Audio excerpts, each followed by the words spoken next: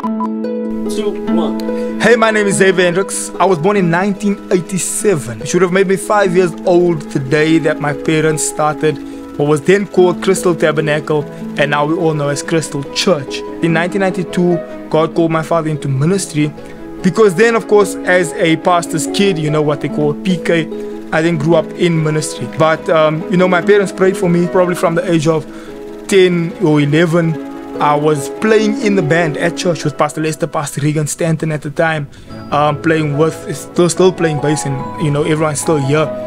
Um, at some point, I was involved in the camera crew uh, with, uh, you know, just with the different teams. Uh, but you know, there's a difference from growing up in church and knowing about Jesus and actually having your own encounter with Jesus, right?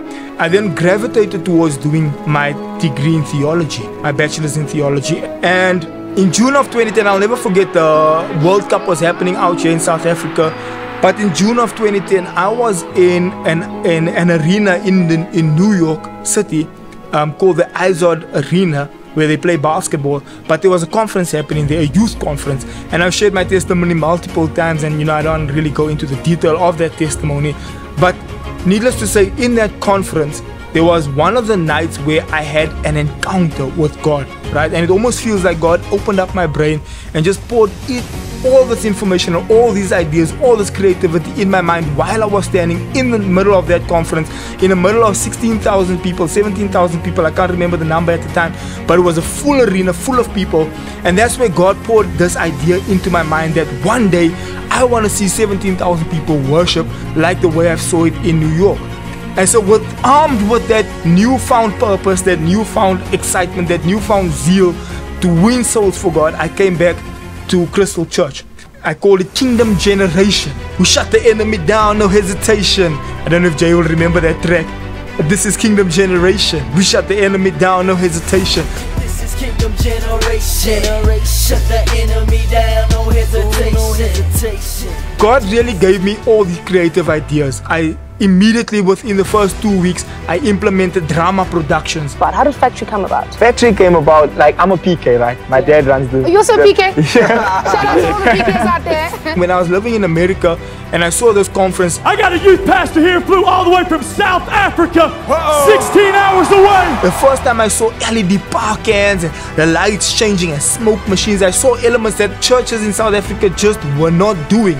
You know, it was something so fresh and so new. His youth group has gone from 80 kids to 800 yeah. every week. Thank you so much for coming through to the factory, man. And all we want to do is say thank you to Jesus. The factory is now officially open for 2014. I need some saints that says, Lex, I got hope. No matter what I'm facing, man, it's not over. Needless to say, week after week, that thing was growing by, by about 50 to 100 people every week to the point where almost the whole thousand seater was completely full.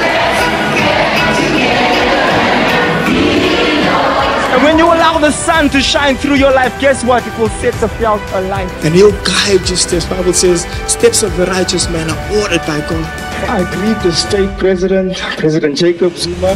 I am here to speak today on behalf of the youth of South Africa. And young people were getting saved week after week. The only reason God will ever elevate you and lift you up is so that you can pour into the lives of other people. You know, we do street activation work.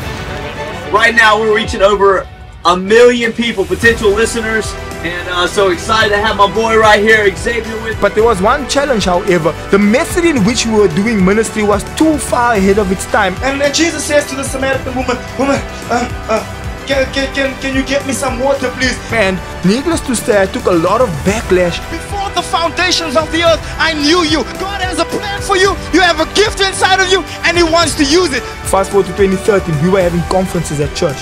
Um, it was called sold out. There was this saying I always used to like saying, I'm 100% sold out for Jesus. So our conference number one was called 100% sold out. And then year after year, the sold out conferences at Crystal Church, it grew to a point where the church got more full every single year we did it with just activations happening in the foyer. I'll never forget there was a time we had a whole, uh, I was trying to recreate the Garden of Eden in church with real animals, live animals, right here in church. There was a time I was recreating a car accident and I had cars with broken glass and everything in church. Just so happens that even up until in Namibia, people were speaking about it. Botswana, people were speaking about it. Zambia, they were, they were guest artists here from Zambia. People were hearing about what we were doing here. The fire of God was like really on some different level. Come on, come on. We thank God for the anointing Pastor X Life one more time. Clap your hands for him once again. He's not playing with this thing. He loves young people and he loves the Lord. And everywhere he go, he changed lives. So fast forward to 20 in 2013 I meet my wife because she came to one of the conference and that's how I met my wife in 2013 because she was from Namibia and she heard about what we we're doing and obviously when I saw her I knew okay this is gonna be my wife and we just you know kicked it off from there. In 2014 we were only dating a year. In 2014 we got married. And beautiful wedding out in Cape Town. And then in 2015 we had my eldest daughter Ava. 2017 we had my second daughter Taya. And you know that's where God has brought us. And then 2020 I still had this vision burning in my heart to see 17,000 young people worshiping. And I just knew that this is the time my 10 year anniversary in ministry that we need to get this done I took a big step of faith and I booked the Ticketpro Dome. and we put down the deposit we started selling tickets to the point with a quarter of the venue was already sold out. And then, of course, you know, President called a family meeting, and we all know what happened from there. Um, the lockdown situation happened, and all that happened. And unfortunately, that that vision and that dream couldn't go full cycle. Then, I guess, you know, God understands why, and He knows why. Now, listen, I've seen God take us from moments where we didn't know how we're gonna get through to moments where we thought we were about to lose everything. I've seen everything God has been doing for the past 32 years. Seek ye first the kingdom of God and his righteousness, and all the other things will be added unto you. I can see, even since the foundation of Crystal Church, where it started at Dr. Carl and Pastor Joan from on stoop, moving into the classroom, moving into the tent, moving into a thousand seater, moving into this auditorium. Through it all, I've learned to trust in Jesus. The foundation is so strong. Imagine, you know, you can only go high with a strong and deep foundation. The favor of God is upon you. But I'm here to let you know God, I like this, is still a God of miracles. God has allowed me to achieve a lot of interesting things over this, over my past 14 years in full-time ministry.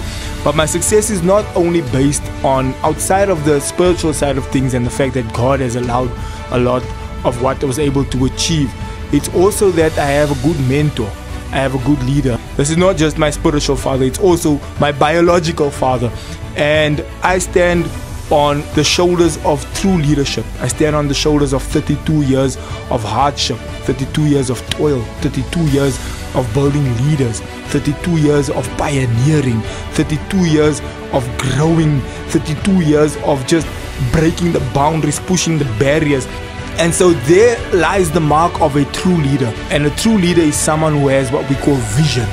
And vision, the very definition of vision is to be able to see ahead to be able to see the treacherous terrain that lies ahead where others cannot see. So when I stand on my Father's shoulders, I'm able to see further. All glory goes to God and all accolades goes to my mentor, my spiritual father, my biological father who taught me, who raised me, who taught me everything I know about preaching, who taught me everything I know about homiletics, exegeting, uh, leadership, all these elements that, you know, over the years I've, I've become accustomed with is because I was taught this by my mentor, by my father. I'm looking forward to seeing people storming through those doors week after week. I'm looking forward to seeing encounters week after week. I know that the people will experience the grace of God. I know that this community will be touched out of this church. I know that South Africa will be touched out of this church. And this is what I'm looking forward to seeing what God is capable and able in doing, not just in my life, but in your life. And I know that God is going to do it for you, for me, for the leadership of Crystal Church, for Dr. Carl, for Pastor Joan, for all the leaders, the board of directors, every member of this church. I know God is going to take us from strength to strength, from victory to victory, from every person that God has placed in this house, which is called Crystal Church.